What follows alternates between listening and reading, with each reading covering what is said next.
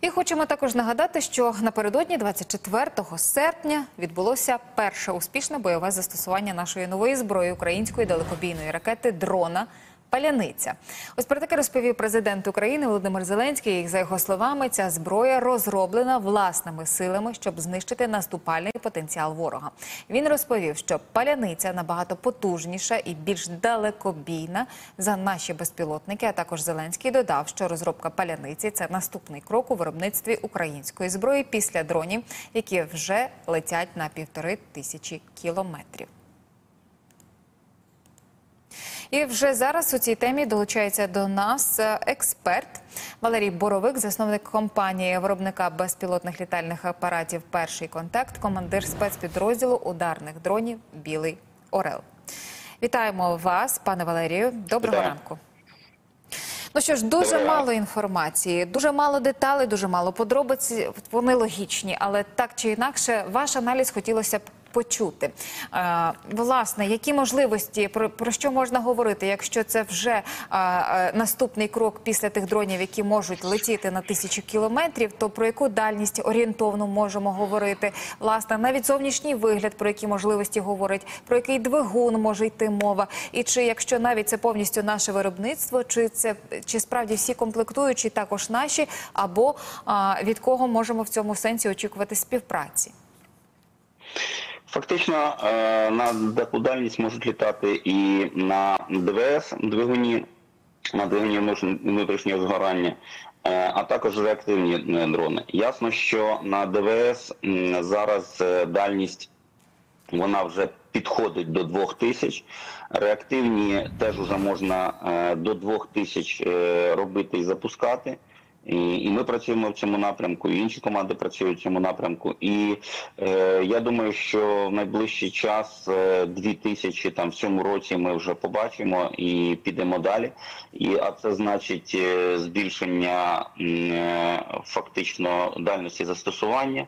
Це збільшення ерії застосування, е, тобто це більше об'єктів можна застосовувати, а ще й з додаванням того, е, що є наші успіхи на в просуванні на російську територію, то це ще додає додаткові кілометри, які е, можна вже тоді застосовувати по тим об'єктам, яких раніше ми не доставали. Нагадаю, що у нас до сих пір немає е, дозволу на використання е, тих е, засобів враження, як Storm Shadow, е, Atacams там і інші, які е, мають е, бути е, дозволи отримані від влади Сполучених Штатів або е, Сполученого Королівства або е, від інших постачальників, е, е, в тому числі там це французько-британські концерни і уряди, які мають фактично надати дозвіл на на удари по російській території, вглиб російської території. Тому ми, ми не те, що вимушені, ви- ми маємо захищатись, ми маємо атакувати ті об'єкти, які є допомагають російській армії е, робити удари по цивільному населенню, по нашим підрозділам сил оборони. І я думаю, що ми побачимо ще все більше більше е, застосування на даль, дальність е, уже серйозно в самій е, Росії. Стосовно навіть е, невеличкого зовнішнього розміру, принаймні так видається на відео. Е, Як гадаєте, про яку потужність е, можемо говорити, і взагалі про по особливостях зовнішності, е, якими які цілі може вражати такий безпілотник паляниця? Звісно, що це більше 50 кілограм бойова частина до 100 кілограм, е, плюс-мінус. Е, Я думаю, що е, різні цілі це може вражати. Дивіться, якщо шахет йде з 50 кілограмовою вибухівкою, навіть коли він не попадає в ціль, а вибух іде десь поруч, е, тобто це не точне попадання, то враження навколо цього вибуху воно досить суттєве. І якщо в тебе вже бойова частина м, 100 кг плюс плюс-мінус або більше, то у тебе, звісно, що це потужна, е, потужна зброя, яка може е, бити по тим захищеним об'єктам, які можуть е, бути вже підготовлені до ударів безпілотників, тому що це вже фактично така, такі, така ракета, да, яка може на досить серйозній швидкості е, при е, ударі в об'єкт, при ударі в ціль.